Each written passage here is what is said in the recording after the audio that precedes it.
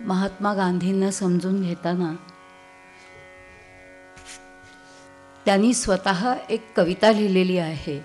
हे मला जेव्हा कळलं त्यावेळेला असं वाटलं की त्यांची मनोअवस्था ही नेमकी काय आहे ती त्या कवितेमध्ये दिसून येते. मला ते एक धीरोदात्त नायक वाटतात.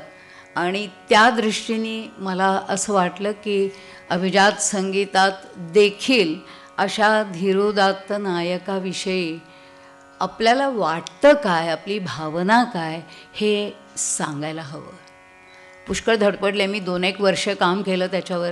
हे वाचलं ते वाचलं असं करत करत शेवटी मी दोन हजार दोन साली हे हा कार्यक्रम केला आणि तो इथेच केला होता. मनीषा गुप्ते आणि त्यांची संस्था ह्यांनी तो कार्यक्रम घेतला होता. त्याच्यानंतर मी बरेच ठिकाणी हा कार्यक्रम केला. अमेरिकेत जर्मनीत ॲम्स्टरडॅमला हॉलंडमध्ये. आणि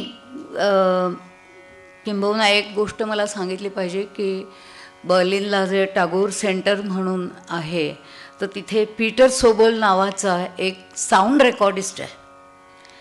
तर तिथे मी कार्यक्रम हा करणार होते. तर तो म्हणला नीला ह्याला काय टायटल काय द्यायचं ह्याचं? What do you think of Mahatma I said that's great that's wonderful you thought of it we will call it Mahatma तर तेव्हापासून मी हा एक महात्मा ह्या नावाचा कॉन्सर्ट असं मी त्याकडे बघायला लागले.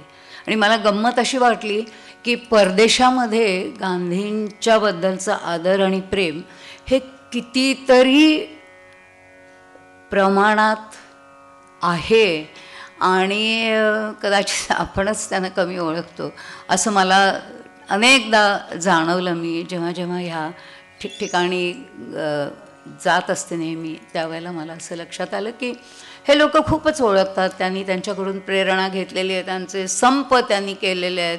आणि त्याला गांधींची प्रेरणा होती. हे सगळं मी पाहिलं तेव्हा मला असं वाटलं अरे बापरे! आपल्याला खरंच आपलंच माणूस कळत नाही. आणि मग मी जे काय काम केलं त्याच्यात मला ही कविता आढळली. आणि ती कविता मी आज सुरुवातीला गाणार आहे.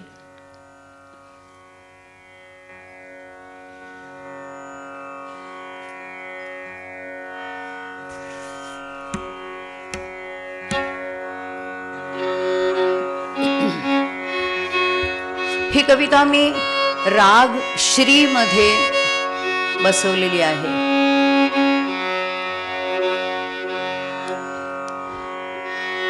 इथल्या बऱ्याचशा लोकांना असं वाटेल की हे इतकं कठीण कठीण श्रीसारखा राग तुम्ही कशासाठी निवडता? तर एक मला सांगावं असं वाटतं की ही कविता तालासुरात बांधून त्याचं एक रेकॉर्डिंग झालेलं आहे. पण मला ती ज्या प्रकारे प्रत्ययाला आली. ते तो राग आणि ती धून मी ह्या कवितेसाठी वापरलेली आहे.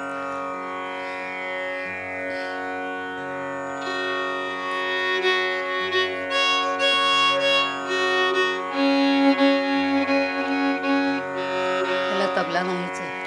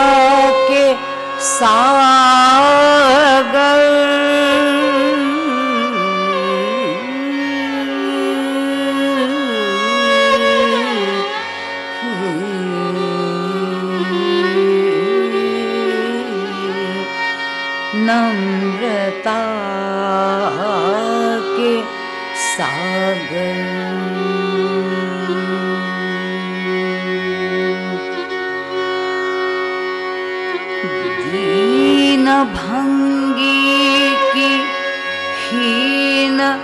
कुटिया के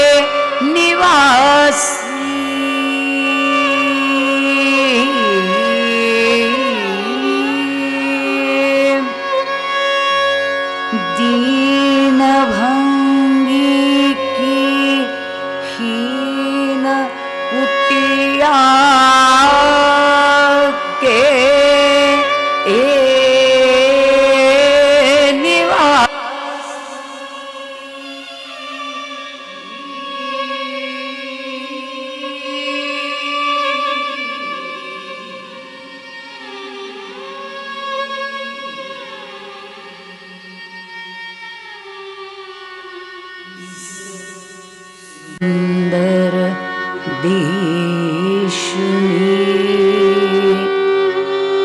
तुझे सब जग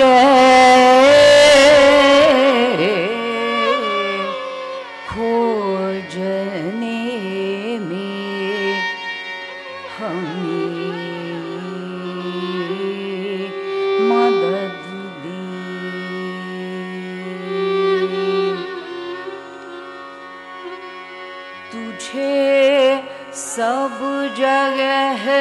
खोजने में इस सुंदर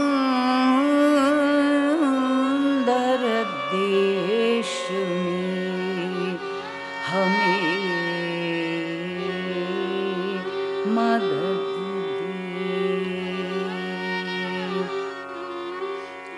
तेरी अपनी नम्रता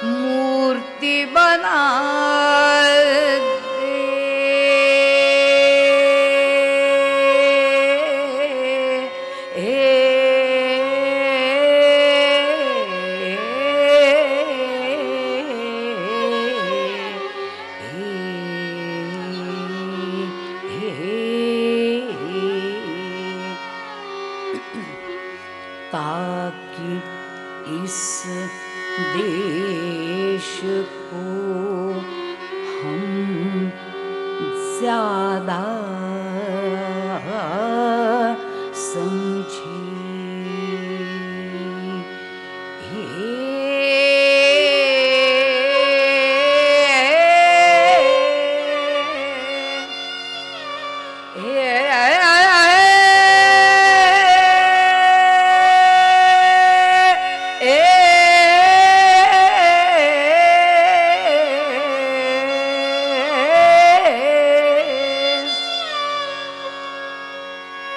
ताकि इस देश को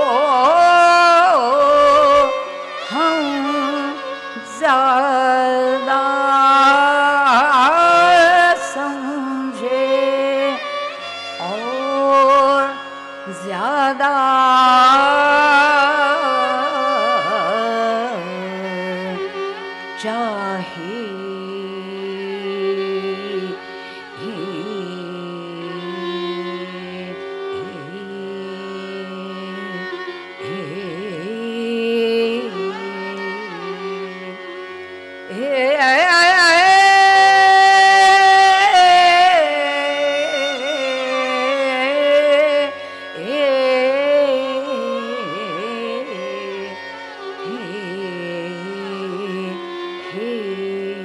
नम्रता